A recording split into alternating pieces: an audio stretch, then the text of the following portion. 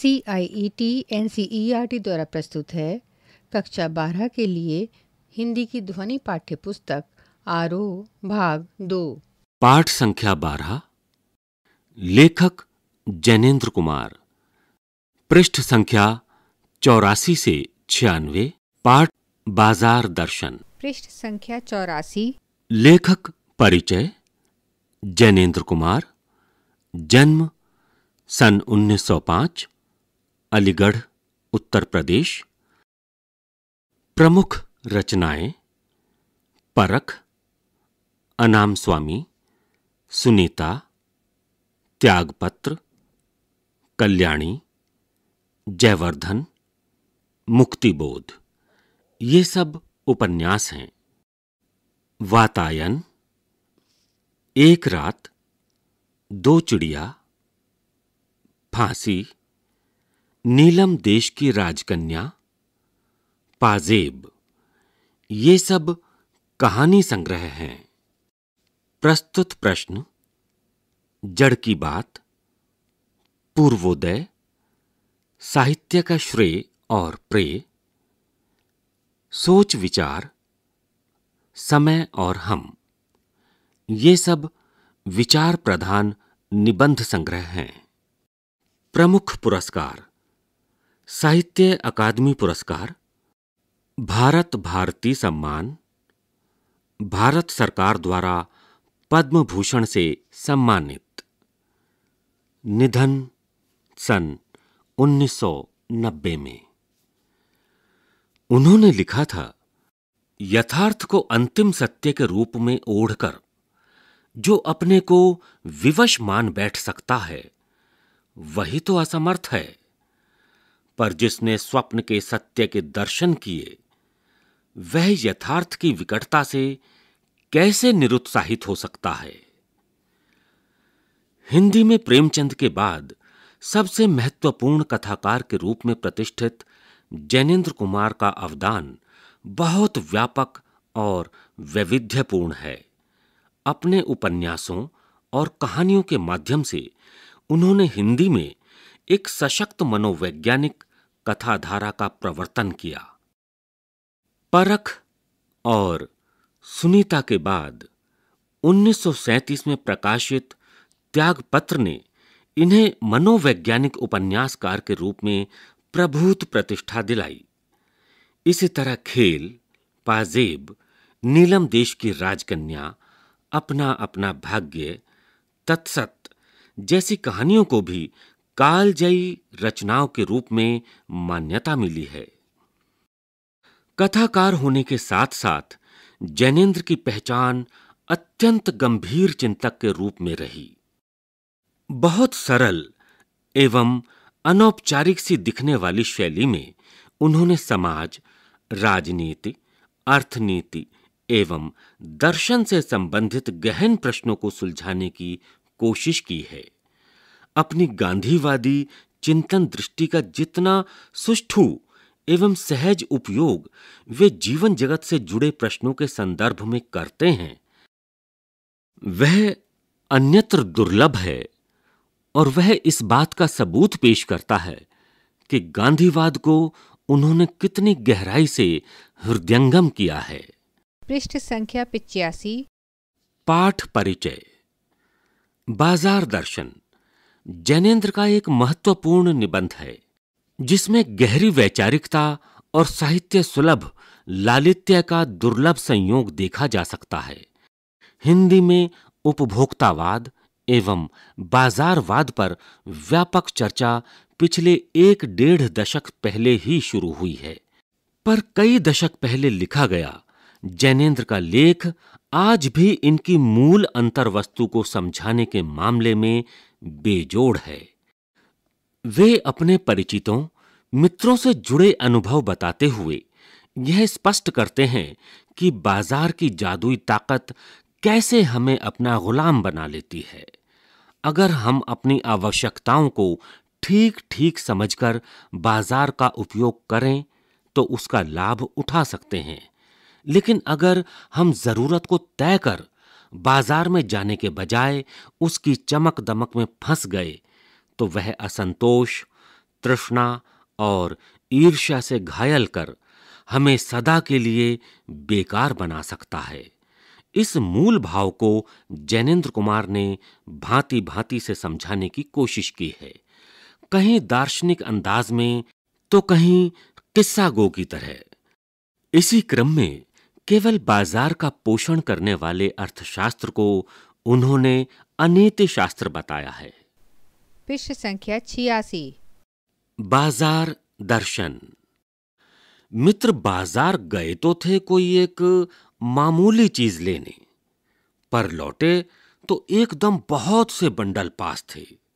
मैंने कहा यह क्या? बोले यह जो साथ थीं उनका आशय था कि यह पत्नी की महिमा है।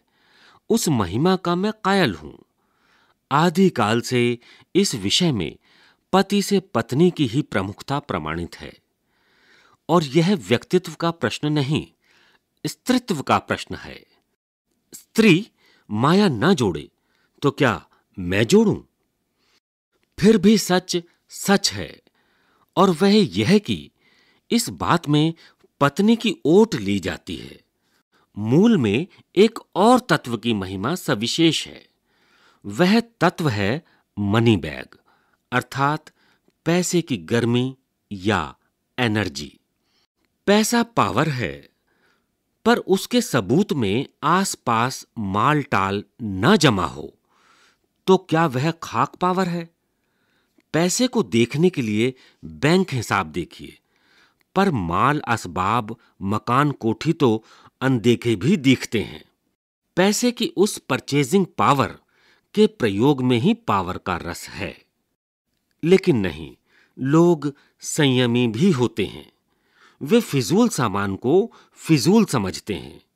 वे पैसा बहाते नहीं हैं और बुद्धिमान होते हैं। बुद्धि और संयम पूर्वक वह पैसे को जोड़ते जाते हैं। जोड़ते जाते हैं। वह पैसे की पावर को इतना निश्चय समझते हैं कि उसके प्रयोग की परीक्षा उन्हें दरकार नहीं है। बस, खुद पैसे के जुड़ा होने पर उनका मन गर्व से भरा फूला रहता है। मैंने कहा, यह कितना सामान ले आए? मित्र ने सामने मनी बैग फैला दिया। कहा, यह देखिए। सब उड़ गया। अब जो रेल टिकट के लिए भी बचा हो। मैंने तब तय माना कि और पैसा होता, और सामान आता। वह सामान ज़रूरत की तरफ़ देखकर नहीं आया। अपनी परचेजिंग पावर के अनुपात में आया है। लेकिन ठहरिए, इस सिलसिले में एक और भी महत्व का तत्व है, जिसे नहीं भूलना चाहिए। उसका भी इस कर्तव्य में बहुत कुछ हाथ है। वह महत्व है बाज़ार। मैंने कहा यह इतना कुछ नाहक ले आए? पृष्ठ संख्या सतासी। मित्र बोले कुछ ना पूछो बाज़ार है कि शैतान का जाल है? ऐसा सजा सजा कर माल रखते हैं कि बेहया ही हो जो ना फंसे। मैंने मन में कहा ठीक बाज़ार आमंत्रित करता है कि आओ मुझे लूटो और लूटो, सब भूल जाओ। मुझे देखो, मेरा रूप और किसके लिए है? मैं तुम्हारे लिए हूँ। नहीं कुछ चाहते हो तो भी देखने में क्या हरज है? अजी, आओ भी। इस आमंत्रण में यह खूबी है कि आग्रह नहीं है।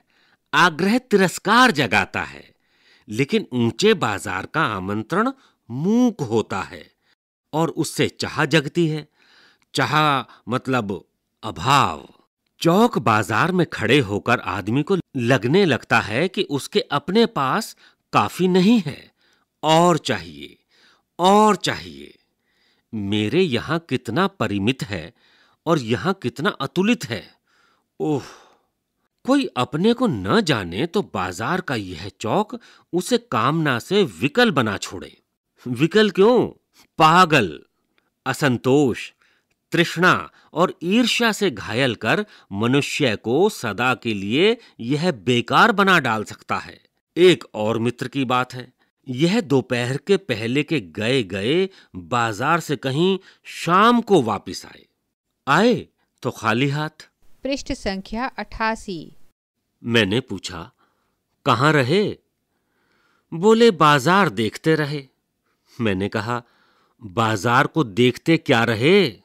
बोले, क्यों? बाज़ार? तब मैंने कहा, लाए तो कुछ नहीं। बोले, हाँ, पर यह समझ न आता था कि न लूँ तो क्या? सभी कुछ तो लेने को जी होता था। कुछ लेने का मतलब था शेष सब कुछ को छोड़ देना, पर मैं कुछ भी नहीं छोड़ना चाहता था। इससे मैं कुछ भी नहीं ले सका। मैंने कहा, खूब। पर मित्र की बात ठीक थी। अगर ठीक पता नहीं है कि क्या चाहते हो तो सब ओर की चाह तुम्हें घेर लेगी, और तब परिणाम त्रास ही होगा। गति नहीं होगी, न कर्म। बाज़ार में एक जादू है। वह जादू आँख की राह काम करता है। वह रूप का जादू है।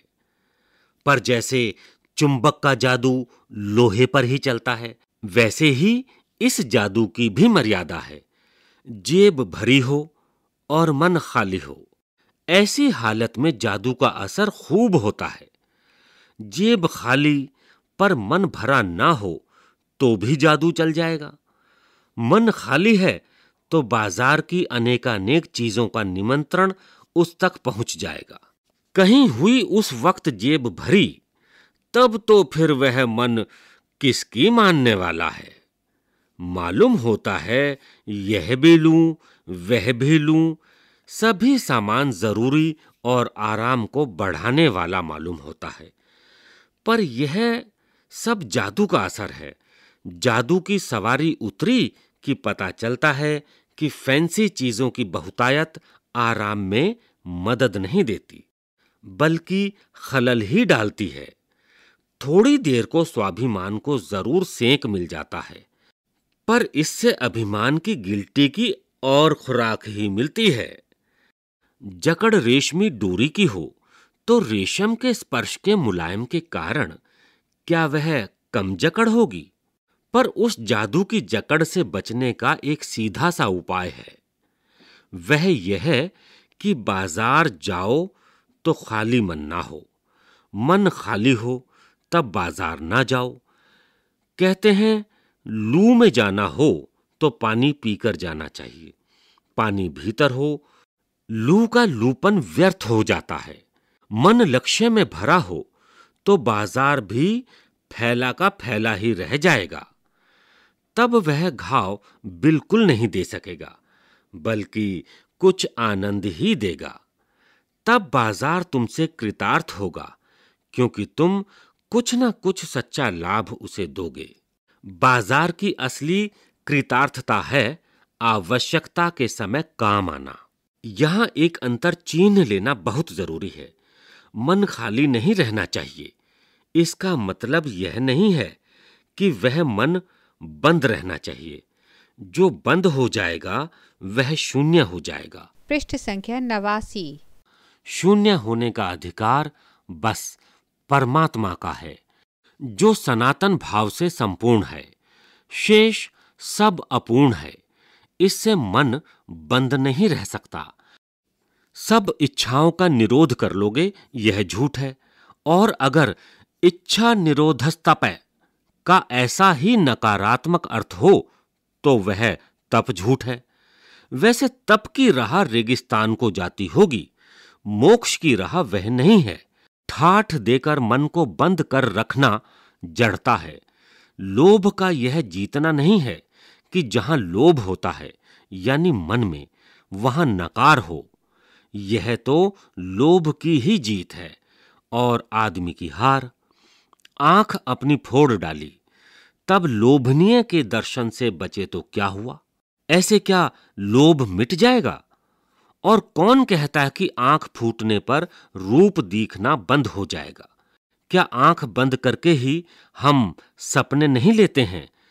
और वे सपने क्या चैन भंग नहीं करते हैं? इससे मन को बंद कर डालने की कोशिश तो अच्छी नहीं, वह अकारत है। यह तो हठ वाला योग है। शायद हठ ही हठ है, योग नहीं है। इससे मन कृष भले हो जाए और पीला और अशक्त, जैसे विद्वान का ज्ञान। वह मुक्त ऐसे नहीं होता। इससे वह व्यापक की जगह, संकीर्ण और विराट की जगह क्षुद्र होता है। इसलिए उसका रोम रोम मूंद कर बंद तो मन को करना नहीं चाहिए। वह मन पूर्ण कब है? हम में पूर्णता होती तो परमात्मा से अभिन्न हम महाशून्य ही ना होते। अपूर्ण है, इसी से हम हैं। सच्चा ज्ञान सदा इसी अपूर्णता के बोध को हम में गहरा करता है। सच्चा कर्म सदा इस अपूर्णता की स्वीकृति के साथ होता है। अतः उपाय कोई वही हो सकता है, जो बलात् मन को रोकने को न कहे। जो मन को भी इसलिए सुनिए क्योंकि वह अप्रयोजनीय रूप में हमें नहीं प्राप्त हुआ है। हाँ मन मानेपन की छूट मन को ना हो, क्योंकि वह अखिल का अंग है। खुद कुल नहीं है। पड़ोस में एक महानुभाव रहते हैं, जिनको लोग भगत जी कहते हैं। चूरन बेचते हैं। यह काम करते जाने उन्हें कितने बरस हो गए हैं। लेकिन किसी एक भी दिन चूरन से उन्होंने छह आने पैसे से ज़्यादा नहीं कमाए। चूरन उनका आसपास सरनाम है और खुद खूब लोकप्रिय है। कहीं व्यवसाय का गुर पकड़ लेते और उस पर चलते तो आज खुशहाल क्या माला माल होते। क्या कुछ उनके पास ना होता। इधर दस वर्षों से मैं देख रहा हूँ, उनका चूरन हाथों हाथ बिक जाता है, पर वह न उसे थोक देते हैं, न व्यापारियों को बेचते हैं। पेशगी ऑर्डर कोई नहीं लेते बंधे वक्त पर अपनी चूरन की पेटी लेकर घर से बाहर हुए नहीं कि देखते देखते छह आने की कमाई उनकी हो जाती है। लोग उनका चूरन लेने को उत्सुक जो रहते हैं। चूरन से भी अधिक शायद वह भगत जी के प्रति अपनी सद्भावना का दे देने को उत्सुक रहते हैं। पर छह आने पूरे हुए नहीं कि भगत जी बाकी चूरन बालकों को मुफ़्त बांट देते हैं। कभी ऐसा नहीं हुआ कि कोई उन्हें पच्चीसवां पैसा भी दे सके। कभी चूरन में लापरवाही नहीं हुई है और कभी रोग होता भी मैंने उन्हें नहीं देखा है। पृष्ठ संख्या नब्बे। और तो नहीं लेकिन इतना मुझे निश्चय मालूम होता है कि इन चूरन वाले भगत जी पर बाज़ार का जादू नहीं चल सकता। कहीं आप भूल ना कर बैठिएगा। इन पंक्तियों को लिखने वाला मैं चूरण नहीं बेचता हूँ। जी नहीं, ऐसी हल्की बात भी न सोचिएगा। यह समझिएगा कि लेख के किसी भी मान्य पाठक से उस चूरन वाले को श्रेष्ठ बताने की मैं हिम्मत कर सकता हूँ? क्या जाने उस भोले आदमी को अक्षर ज्ञान तक भी है या नहीं? और बड़ी बातें तो उसे मालूम क्या होंगी? और हम आप न जाने कितनी बड़ी बड़ी बातें जानते हैं। इससे यह तो हो सकता है कि वह चूरन वाला भगत हम लोगों के सामने एकदम नाचीज आदमी हो। लेकिन आप पाठकों की विद्वान श्रेणी का सदस्य होकर भी मैं यह स्वीकार नहीं करना चाहता हूँ कि उस अपदार्थ प्राणी को वह प्राप्त है जो हम में से बहुत कम को शायद प्राप्त है। उस पर बाज़ार का जादू वार नहीं कर पाता। माल बिछा रहता है और उसका मन अडिग रहता है। पैसा उससे आगे होकर भीख तक माँगता है कि मुझे लो। लेकिन उसके मन में पैसे पर दया नहीं समाती। वह निर्मम व्यक्ति पैसे को अपने आहत गर्व में बिलखता ही छोड़ देता है। ऐसे आदमी के आगे क्या पैसे की व्यंग्य शक्ति कुछ भी चलती होगी? क्या वह शक्ति कुंठित रहकर सलज ही ना हो जाती होगी। पैसे की व्यंग्य शक्ति की सुनिए। वह दारुण है। मैं पैदल चल रहा हूँ कि पास ही धूल उड़ाती निकल गई मोटर। वह क्या निकली? मेरे कलेजे को कौंधती एक कठिन व्यंग्य की लीक ही आर से पार हो गई। जैसे किसी ने आँखों में उंगली देकर दिखा दिया हो कि देखो उसका नाम है मोटर, और तुम उससे वंचित हो। यह मुझे अपनी ऐसी विडंबना मालूम होती है कि बस पूछिए नहीं, क्यों ना मैं मोटर वालों के यहाँ हुआ? उस व्यंग्य में इतनी शक्ति है कि जरा में मुझे अपने सगों के प्रति कृतज्ञ कर सकती है। लेकिन क्या लोक वैभव की यह व्यंग्य शक्ति उस चूरन वाले अकिंचित कर मनुष्य के आगे चूर चूर होकर ही नहीं रह जाती? चूर चूर क्यों? कहो पानी पानी तो वह क्या बल है, जो इस तीखे व्यंग्य के आगे ही अजय ही नहीं रहता, बल्कि मानो उस व्यंग्य की क्रूरता को ही पिघला देता है। उस बल को नाम जो दो, पर वह निश्चय उस तल की वस्तु नहीं है, जहाँ पर संसारी वैभव फलता फूलता है। वह कुछ अपर जाति का तत्व है। लोग स्पिरिचुअल कहते हैं, आत्मिक धार्मिक, नैतिक कहते हैं। मुझे योग्यता नहीं कि मैं उन शब्दों में अंतर देखूँ और प्रतिपादन करूँ। मुझे शब्द से सरोकार नहीं। मैं विद्वान नहीं कि शब्दों पर अटकूं। लेकिन इतना तो है कि जहाँ तृष्णा है, बटोर रखने की स्प्रिया है, वहाँ उस बल का बीज नहीं है। बल्कि यदि उसी बल को सच्चा बल मानकर बात की जाए तो कहना होगा कि संचय की तृष्णा और वैभव की चाह में व्यक्ति की निर्बलता ही प्रमाणित होती है। पृष्ठ संख्या इक्यानवे। निर्बल ही धन की ओर झुकता है वह अबलता है। वह मनुष्य पर धन की और चेतन पर जड़ की विजय है। एक बार चूरन वाले भगत जी बाज़ार चौक में दिख गए। मुझे देखते ही उन्होंने जय जय राम किया। मैंने भी जय राम कहा। उनकी आँखें बंद नहीं थीं, और ना उस समय वह बाज़ार को किसी भांति कोस रहे मालूम होते थे। राह में बहुत लोग, बहुत बालक मिले, जो भगत जी द्वारा पहचाने जाने के इच्छुक थे। भगत जी ने सबको ही हंसकर पहचाना, सबका अभिवादन लिया, और सबको अभिवादन किया। इससे तनिक भी यह नहीं कहा जा सकेगा कि चौक बाज़ार में होकर उनकी आँखें किसी से भी कम खुली थीं, लेकिन भौचक्के हो रहने की लाचारी उन्हें नहीं थी। व्यवहार में पसोपेश उन्हें नहीं था और खोए से खड़े नहीं वह रह जाते थे। भांति भांति के बढ़िया माल से चौक भरा पड़ा है। उस सब के प्रति अप्रीति इस भगत के मन में नहीं है। जैसे उस समूचे माल के प्रति भी उनके मन में आशीर्वाद हो सकता है। विद्रोह नहीं, प्रसन्नता ही भीतर है, क्योंकि कोई रिक्त भीतर नहीं है। देखता हूँ कि खुली आँख, तुष्ट और मग्न, वह चौक बाज़ार में से चलते चले जाते हैं। राह में बड़े बड़े फैंसी स्टोर पड़ते हैं, पर पड़े रह जाते हैं। कहीं भगत नहीं रुकते। रुकते हैं तो एक छोटी पंसारी की दुकान पर रुकते हैं। वहाँ दो चार अपने काम की चीज़ ली और चले जाते हैं। वहाँ दो चार अपने काम की चीज़ ली और चले आते हैं। बाज़ार से हठ पूर्वक विमुखता उनमें नहीं है। लेकिन अगर उन्हें जीरा और काला नमक चाहिए तो सारे चौक बाज़ार की सत्ता उनके लिए तभी तक है तभी तक उपयोगी है जब तक वहाँ जीरा मिलता है। ज़रूरत भर जीरा वहाँ से ले लिया कि फिर सारा चौक उनके लिए आसानी से नहीं के बराबर हो जाता है।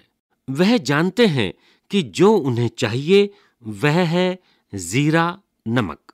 बस, इस निश्चित प्रतीत के बल पर शेष सब चांदनी चौक का आमंत्रण उन पर व्यर्थ होकर बिखरा रहता है। चौक की चांदनी दाएँ बाएँ भूखी की भूखी फैली रह जाती है। क्योंकि भगत जी को जीरा चाहिए, वह तो कोने वाली पंसारी की दुकान से मिल जाता है और वहाँ से सहज भाव में ले लिया गया है। इसके आगे आसपास अगर चांदनी बिछी रहती है तो बड़ी खुशी से बिछी रहे। भगत जी से बेचारी का कल्याण ही चाहते हैं। यहाँ मुझे ज्ञात होता है कि बाज़ार को सार्थकता भी वही मनुष्य देता है जो जानता है कि वह क्या चाहता है और जो नहीं जानते कि वे क्या चाहते हैं।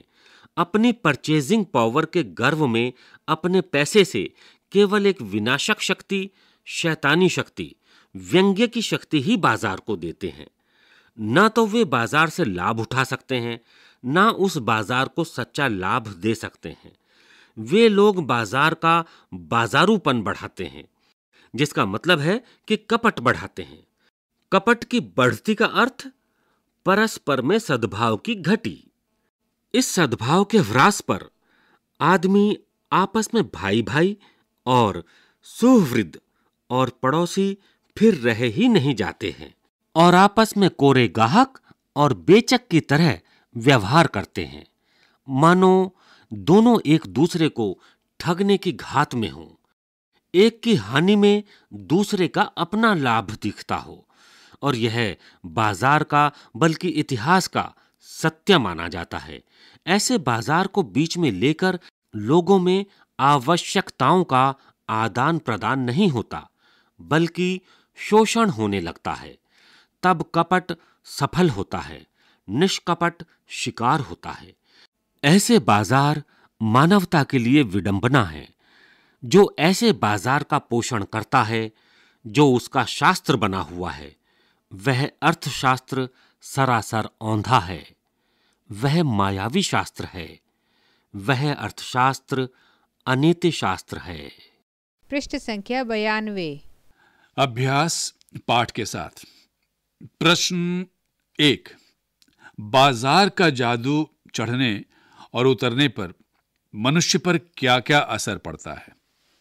प्रश्न दो, बाज़ार में भगत जी के व्यक्तित्व का कौन सा सशक्त पहलू उभर कर आता है? क्या आपकी नज़र में उनका आचरण समाज में शांति स्थापित करने में मददगार हो सकता है? प्रश्न तीन, बाजारूपन से क्या तात्पर्य है? किस प्रकार के व्यक्ति बाज़ार को सार्थकता प्रदान करते हैं?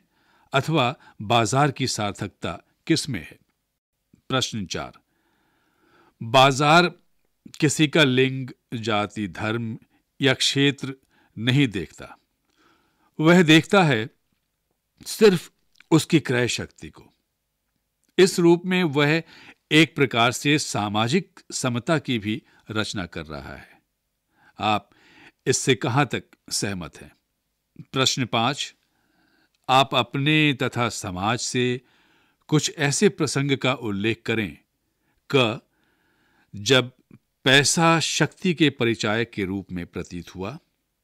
ख, जब पैसे की शक्ति काम नहीं आई। पाठ के आसपास। प्रश्न एक, बाज़ार दर्शन पाठ में बाज़ार जाने या न जाने के संदर्भ में मन की कई स्थितियों का ज़िक्र आया है। आप इन स्थितियों से जुड़े अपने अनुभवों का वर्णन कीजिए। क, मन खाली हो। ख, मन खाली ना हो। ग, मन बंद हो। घ, मन में नकार हो।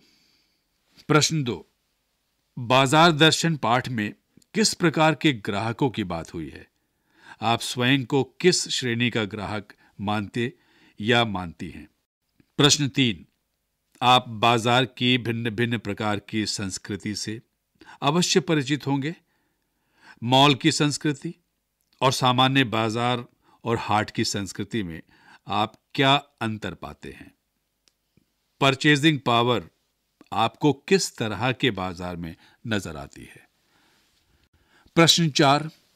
लेखक ने पाठ में संकेत किया है कि कभी कभी बाज़ार में आवश्यकता ही शोषण का रूप धारण कर लेती है। क्या आप इस विचार से सहमत हैं? तर्क सहित उत्तर दीजिए। प्रश्न पाँच।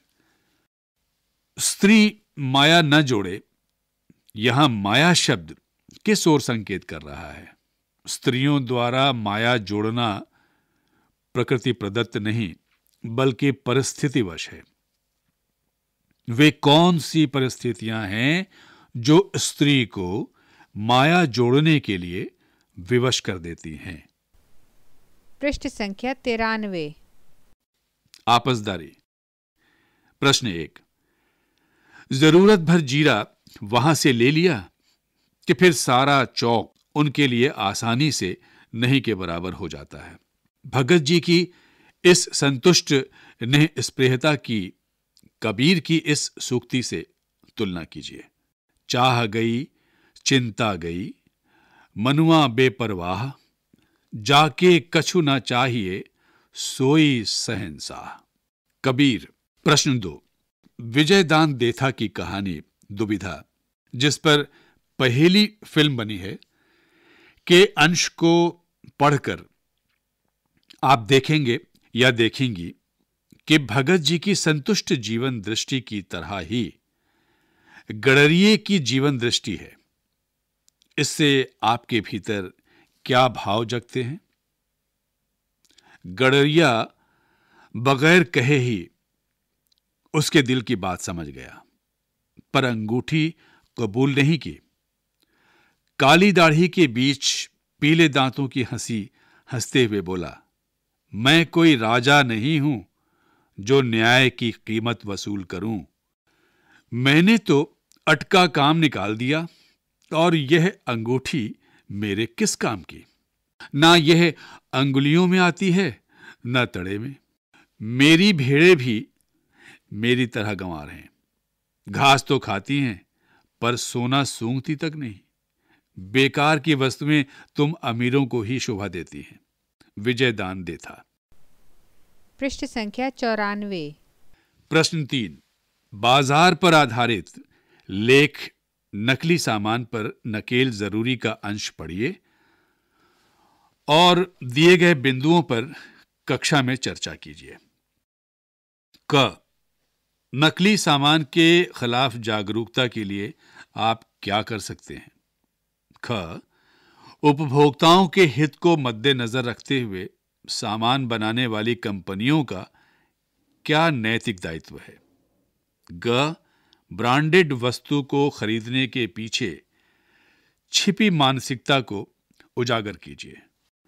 और अब सुनते हैं नकली सामान पर नकेल ज़रूरी। अपना क्रेता वर्ग बढ़ाने की होड़ में एफएमसीजी यानी तेज़ी से बिकने वाले उपभोक्ता उत्पाद बनाने वाली कंपनियाँ गाँव के बाजारों में नकली सामान भी उतार रही हैं।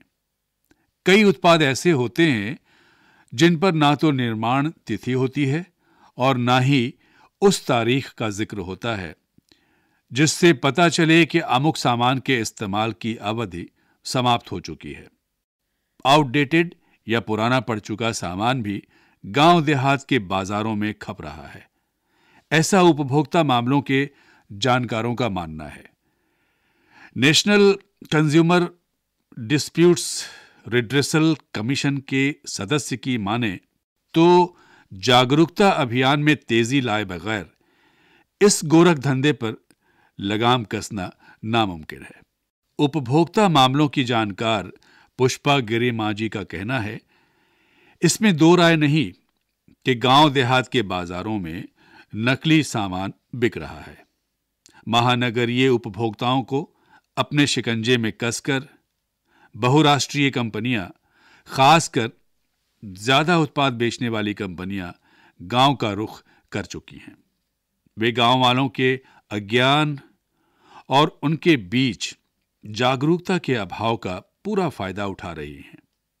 उपभोक्ताओं के हितों की रक्षा के लिए कानून ज़रूर है, लेकिन कितने लोग इनका सहारा लेते हैं? यह बताने की ज़रूरत नहीं। गुणवत्ता के मामले में जब शहरी उपभोक्ता ही उतने सचेत नहीं हो पाए हैं तो गाँव वालों से कितनी उम्मीद की जा सकती है? इस बारे में national consumer disputes redressal commission के सदस्य जस्टिस एस एन कपूर का कहना है, टीवी ने दूर दराज के गाँव तक में बहुराष्ट्रीय कंपनियों को पहुँचा दिया है। बड़ी बड़ी कंपनियाँ विज्ञापन पर तो बेतहाशा पैसा खर्च करती हैं। लेकिन उपभोक्ताओं में जागरूकता को लेकर वे चवन्नी खर्च करने को तैयार नहीं हैं।